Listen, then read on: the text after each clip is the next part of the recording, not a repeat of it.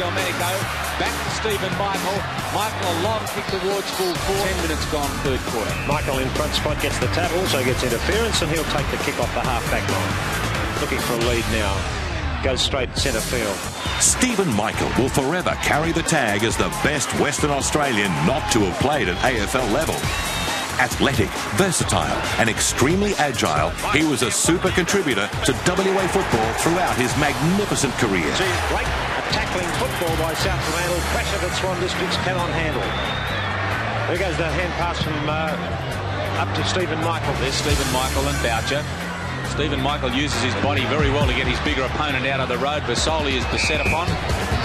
Back out to the bandstand side. Michael in there, one-hander. Has that been played? It has. Oh, great. Gee, is this fella in top form today? He's really shown Boucher how to play football.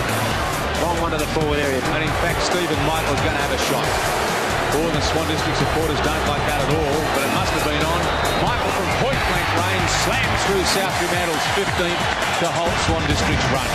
A dual Sandover medalist, the All-Australian captain in 1983, and a Tassie medalist, there was little left for Stephen Michael to do by the time he decided to hang up the boots. Waiting on the throne. Stephen Michael, side bottom, tried to get him out of the road and uh, got straight into Stephen Michael's back, so Michael will take the kick underneath the scoreboard. Nobody on the mark. Swan's making all the mistakes in the world at the moment. Cornell charges through, clears the ball as far as Stephen Michael. Michael goes in, now picks it up, makes a couple of metres, gets his kick in, is slung heavily by Smith, but played a number of games. Derek Shaw knew this year's Sandover medalist, Stephen Michael, with his medal around his neck.